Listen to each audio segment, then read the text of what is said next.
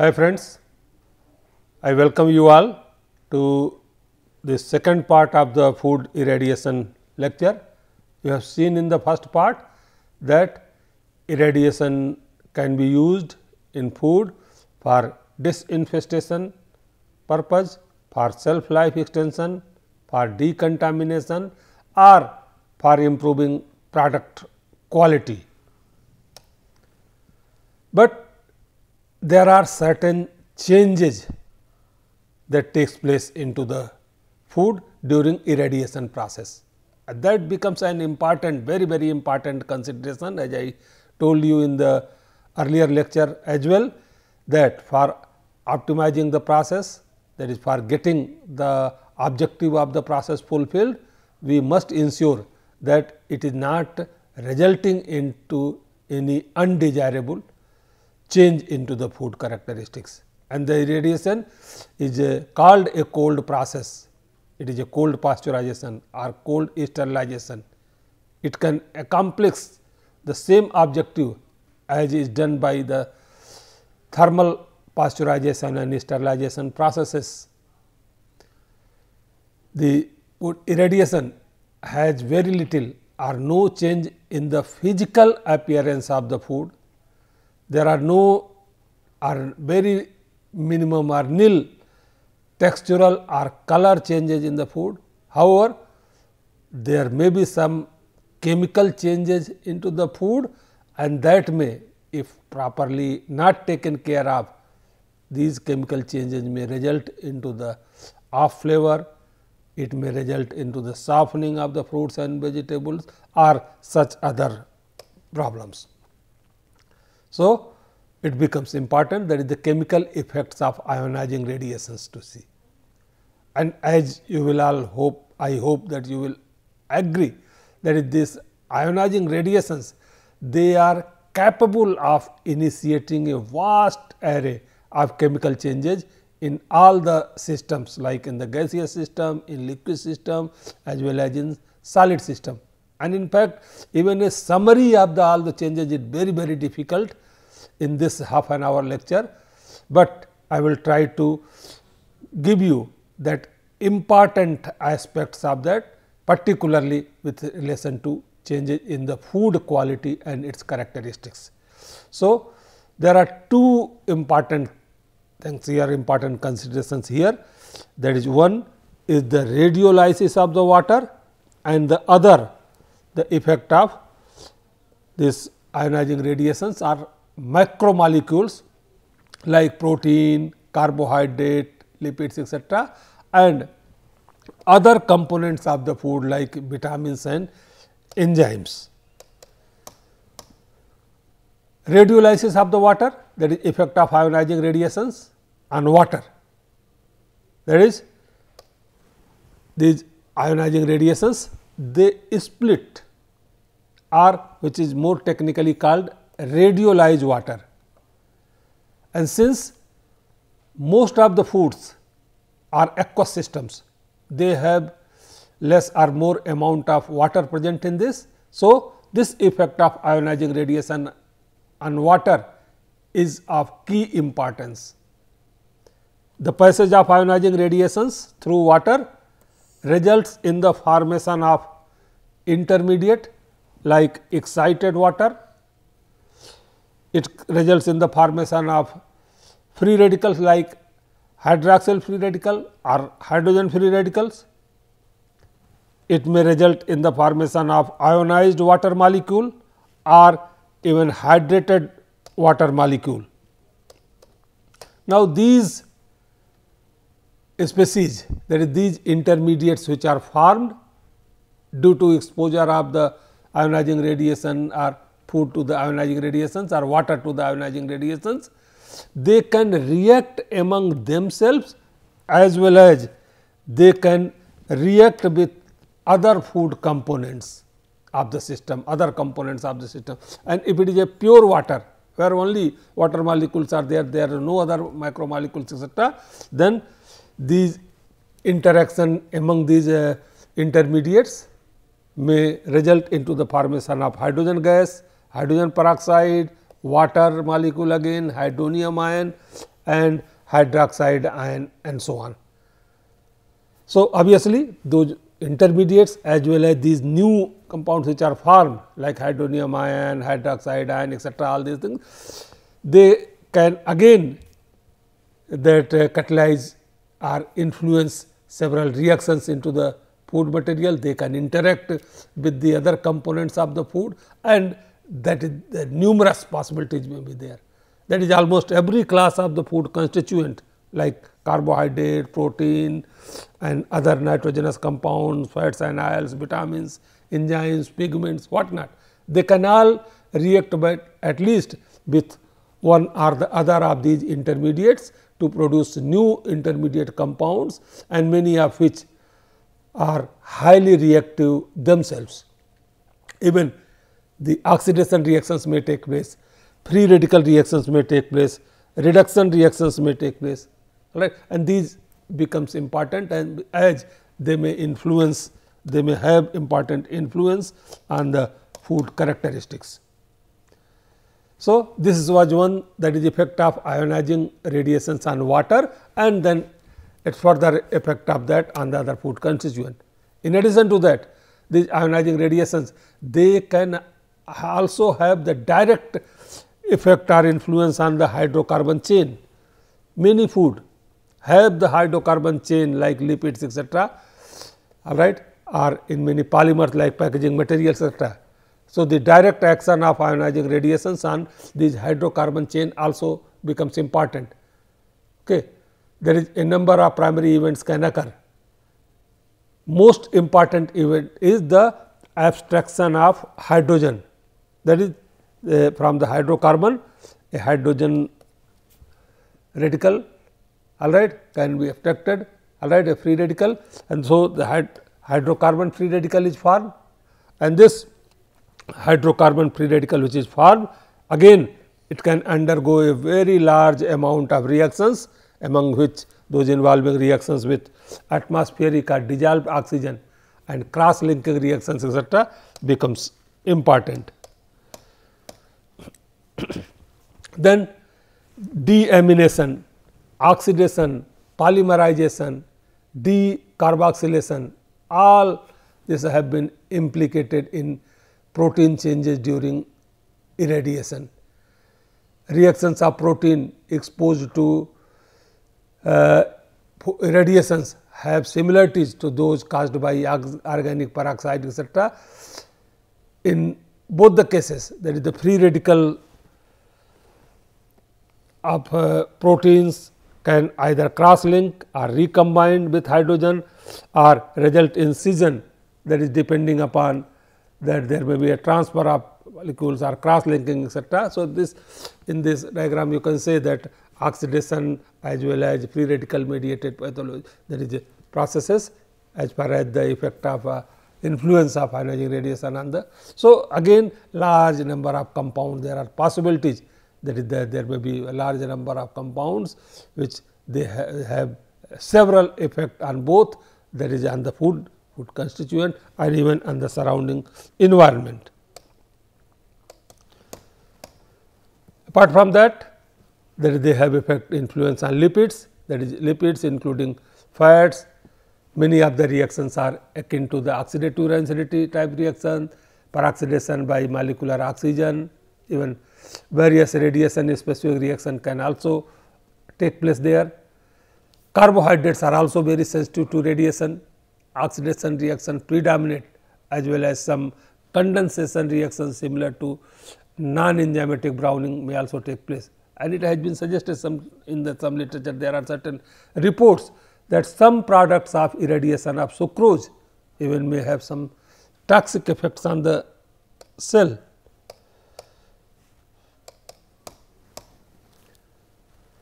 So, we can summarize that effects of irradiation on food constituents that they radiolize water, there may be formation of peroxide or hydroperoxide. About half of the cystine that is 50 percent of the cystine may get destroyed during irradiation, about 10 percent of the tryptophan is lost, there may be development of oxidative rancidity, pectin is degraded which may cause softening of fruits and vegetable. And even higher doses can cause off flavor because of the formation of the carbonyl compound, volatile constituents, hydrocarbons etc. So, obviously, there should be some means to minimize these effect because in optimization of the process our main criteria is that we should have that minimum effect on these constituents. So, obviously, you have seen that since is radiolysis of the water is one major causative factor. So, we can minimize the effect by lowering down the water content, because if the water content in the food is less, then there will be less radiolysis of the water, less free radicals will be formed all right and then the free radical initiated or mediated reactions will be stopped. So, one best way or better way of irradiating the food is that to reduce to dry it all right before irradiation and then irradiate in the dried form. Then less aerobic conditions, because if the oxygen is present in the environment then this uh, oxidation reactions etc maybe that peroxide formation and other reactions may take place which may result into the development of off flavors, off colors etc. So, obviously, if irradiation is done in the less aerobic conditions and the food irradiated food if they are kept in anaerobic environment. So, it will help in preventing off flavor and off color associated reactions.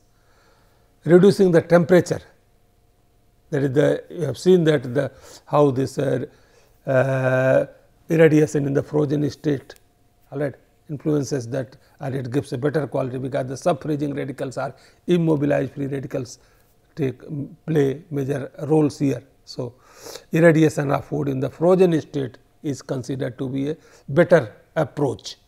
Then addition of free radical scavengers that is also depending upon the type of the food in the system particularly if the liquid system etc., there are powdery system then some free radical scavengers can be added into the food all right or chelating agents can be added into the food and which these metals ions and etc., they can or other free radical they can bind with them and then stop them for free radical initiated chain reactions and all those processes. And of course, that simultaneous distillation is another suggested means, but it has to see that operational things has to be ensured that is this uh, helps in the removal of volatile of flavors or of flavor precursors etc., in the process. Okay. So, after having let us see now what are the different uh, applications that is for what purposes major purposes these ionizing radiations can be used and as you could see it has a vast ranging application in food processing. It can be used for different purposes in different food right like there is for sterilization of the army ration or stabilization of the other food making the food room temperature stable that is one in fact in many countries this irradiation is being used for sterilization of the army ration or sterilization of the ration to be given to the hospital patients etc. Okay. And obviously, here the microorganisms etc. are killed and food is made self stable or room temperature stable. Another application as we also uh, uh, discussed earlier is the extension of shelf life of various foods which are normally distributed or transported or stored at refrigerated temperatures, particularly perishable foods like fish, poultry, meat, fresh fruits and vegetables, milk, egg, cheese, all these things are such material, it is desirable that even their fresh counterparts, they should be transported under refrigerated conditions or even sold under refrigerated conditions for quality regions right. So, here there is one this whole refrigeration setup can be eliminated that is the these foods they can be exposed to irradiation treatment and can be made room temperature stable without any significant loss and influence on the quality factors.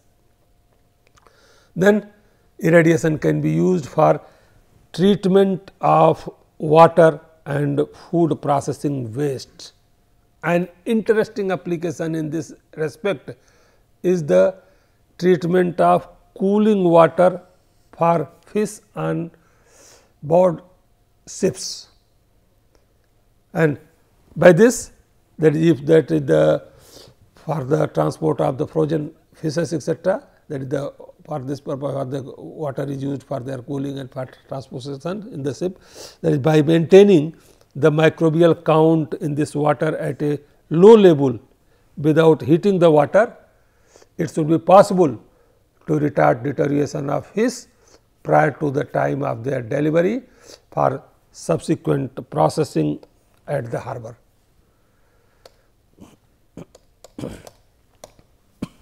Other possible area or very good scope of application of this irradiation is the disinfestation of food grains or dried fruits. In fact, the insect infestation one is one of the major cause for spoilage of the grains or for spoilage of the several dried fruits etc. So, these commodities insects they are very very sensitive comparatively much sensitive to ionizing radiation just by giving a few hundreds or few thousand rads of ionizing radiation these insects can be killed.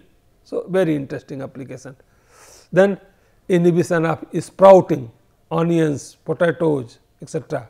like such vegetables when they are stored at room temperature for longer period. So, after some time due to their own ongoing physiological process they sprout and this sprouting is in fact is major problem in such fruits and vegetables limiting their shelf life.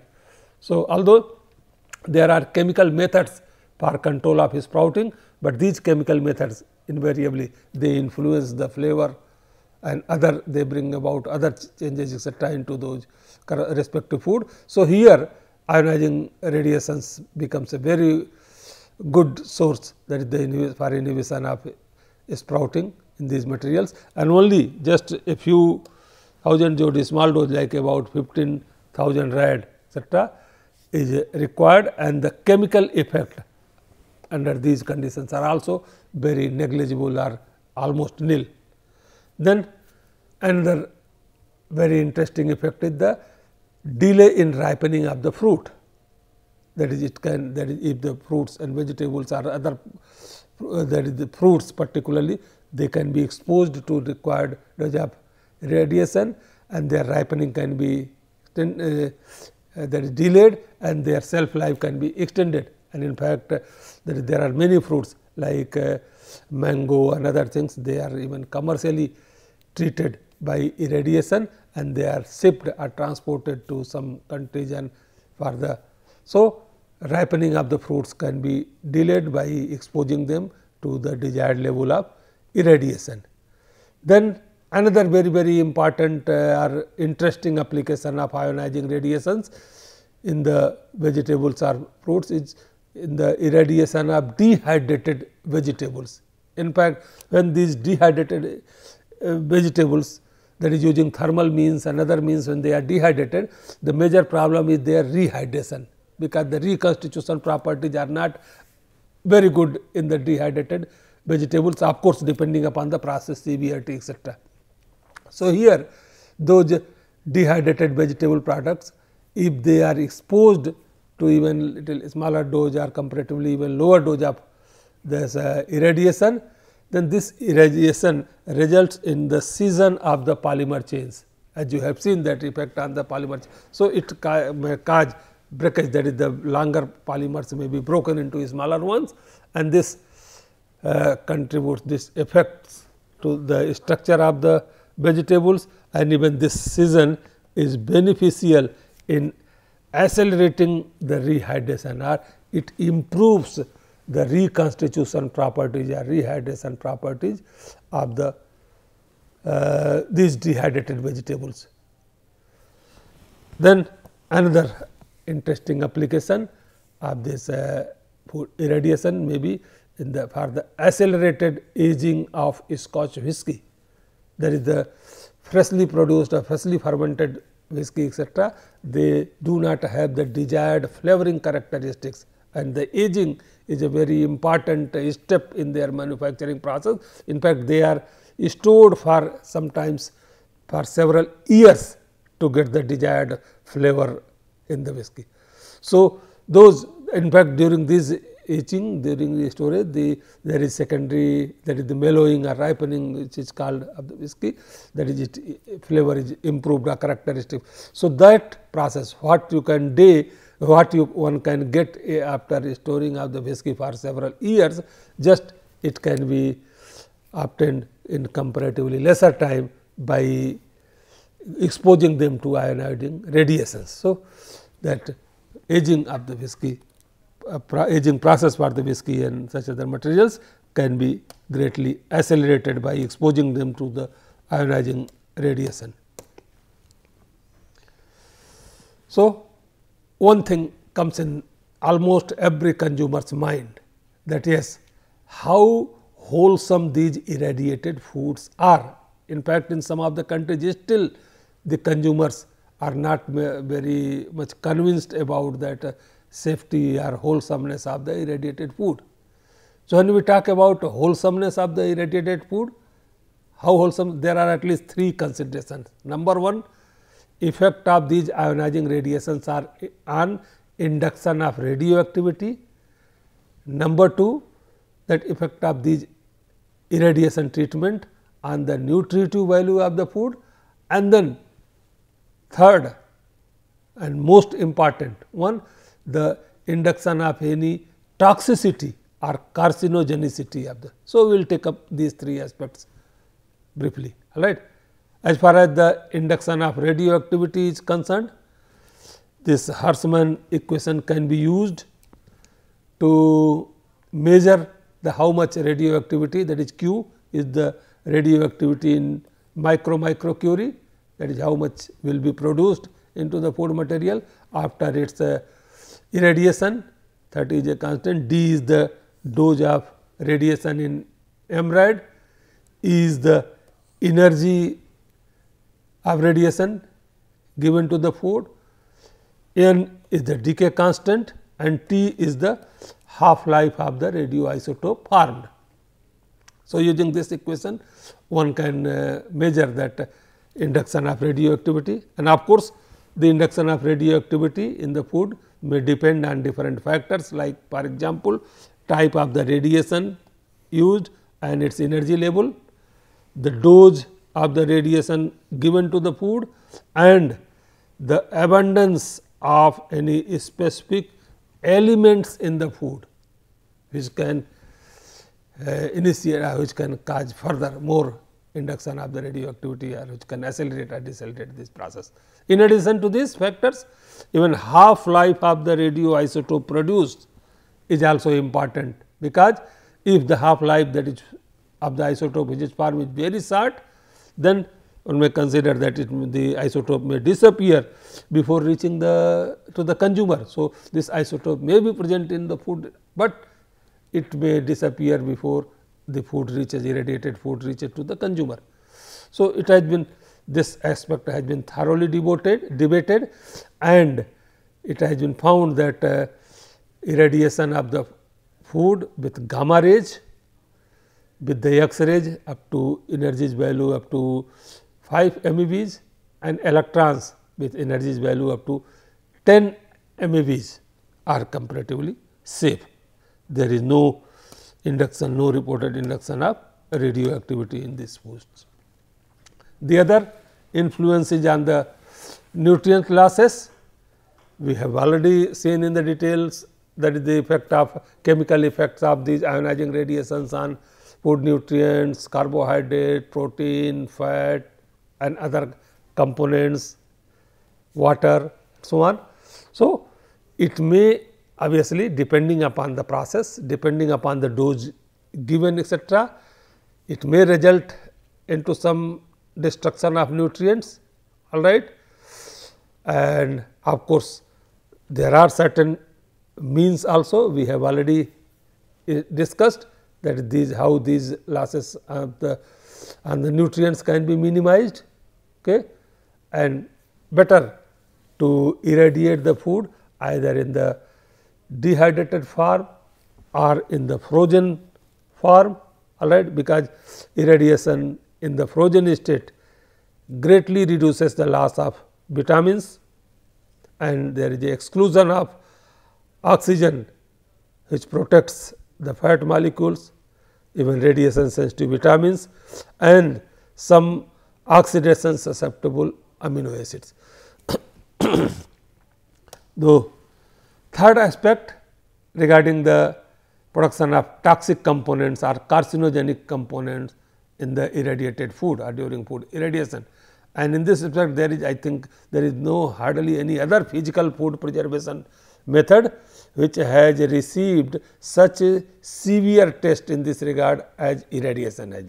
So, this process of food irradiation has been put to thorough scrutiny by various researchers, by various regulating entities throughout the globe in different countries and of course, the studies have been conducted in this respect and after all the data which is obtained in such studies indicate that there are no acute toxic effects or obvious danger of chronic toxicity or carcinogenicity provided the process is used meticulously and with the proper energy levels right and processes are properly optimized. So, under optimum conditions. So, the process has to be used with caution that becomes an important aspect.